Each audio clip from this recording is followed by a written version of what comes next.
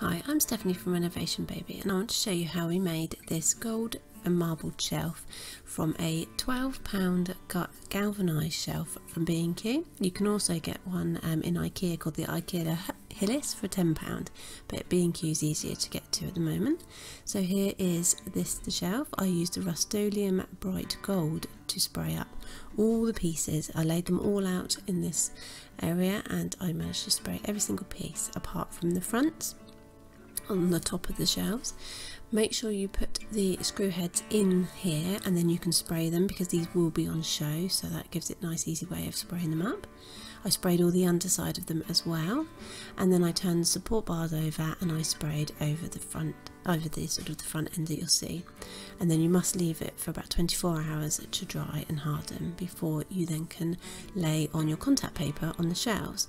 Now this contact paper is from Amazon and it's got like a browny goldy marble effect to it and you lay it on top with your cutting board and your sort of paper knife and you can cut around the edges so that you have a single flat area that just goes on top of the shelf and leaves the sides for free.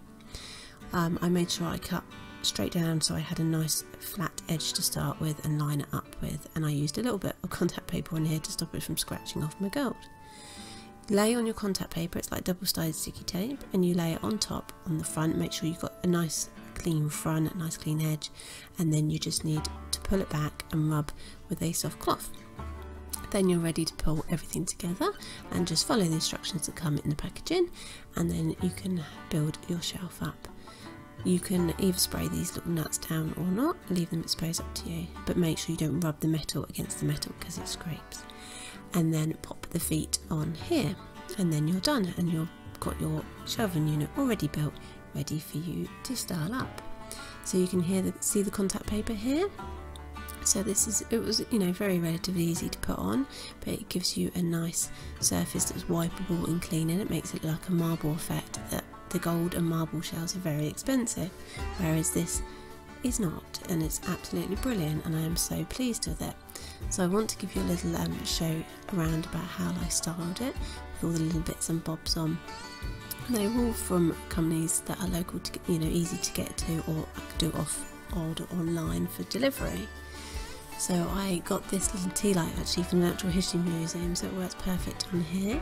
And these were uh, silver frames from Wilko and I spray painted those in rose gold and this little minimalist vase which I thought was quite sweet. It was a couple of little pampas grass. The pampas grass is from Amazon and I'm really quite pleased with it. You blow a hairdryer on them to uh, make them fluff up which looks cute. This plant hanging here is from Beard and Daisies and they've always done really lovely with their plants.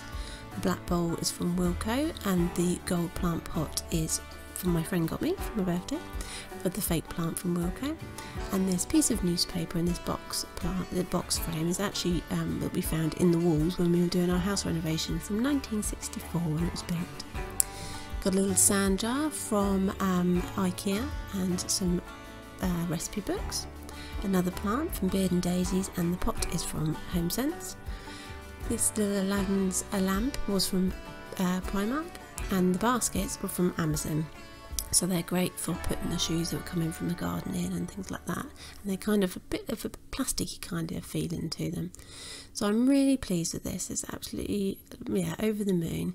So thank you very much for watching. Click through to have a look at the blog post below and um, find out more